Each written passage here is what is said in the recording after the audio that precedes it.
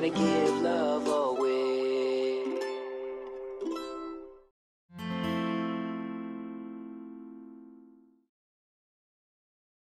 Hi, my name is Eric Shaw. Today I'm going to talk a little bit about modern yoga history, something that's really exciting to me. Um, and I'm going to talk about Vinyasa Yoga. Where did Vinyasa Yoga come from? Vinyasa Yoga is, of course, the yoga system we do where we link poses together in a flowing form. I'm going to skip the earlier history. I'm just going to kind of come to the modern kernel of the practice, which flowed from a visit by uh, the great teacher Krishna Pattabhi Jois to Encinitas in 1975. Before that, the first Westerner had studied with him, a guy named Andre van Lysebeth in 1964. This guy was the head of the Belgian Yoga Association, and he subsequently published a book in which he included um, K.P. Jois's address in Mysore. So that was a little opening to the West. But the big opening happened when three people, three Americans, Nancy Gilgoff, Doug Allen, and David Williams, were hanging out um, in South India, and they met up with Manju Jois. Manju Jois was the son of Krishnamacharya, and he did a little bit of the vinyasa practice of, um, of K.P. Jois's system, the Ashtanga Yoga system, and they were totally excited about it. That's what they had come to India to learn. They traveled to Mysore, and they convinced K.P. Jois to teach them. He kind of didn't want to teach Westerners, but he, um, he relented. They studied with him a while. Um, David Williams went back to America with Nancy Gilgoff, and Doug Allen stayed in practice for a while.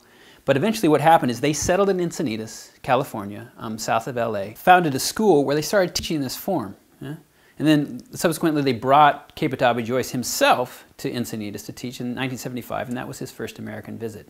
Tim Miller started studying in 1978. He subsequently was the first person to get certified to teach Ashtanga Yoga. He just asked. Pattabhi Jois, he went to Mysore and he, he asked him if he would certify him. So he had him do this public demonstration. And he certified him in Ashtanga Yoga, so he got the official certification. But what Miller did with his understanding when he came back to America, he got this idea to blend together the postures in unusual ways because the Ashtanga system was a set system. It had these different series of practices, it still does, in which you do an exact set of poses. It never changes. But what Miller did is he did what, something he called Surya Namaskara C.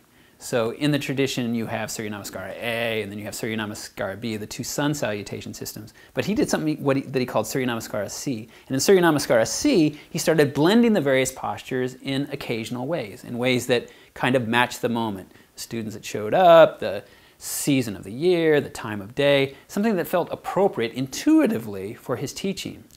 And as we all know, any of us who practice Hatha Yoga today, that's the primary mode of instruction.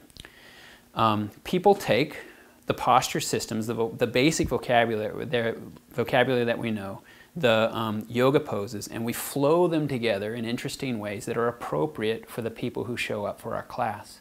It's sourced back to Ashtanga Yoga, yeah? Ashtanga Yoga, the set system that came from, came from K. Pattabhi Jois. And in the next video, we'll talk about where K. Pattabhi Jois learned that system, his guru, and the sources he looked to to create the modern Ashtanga yoga system that led to the vinyasa practice that we know today. I'm Eric Shaw. Blessings on your day.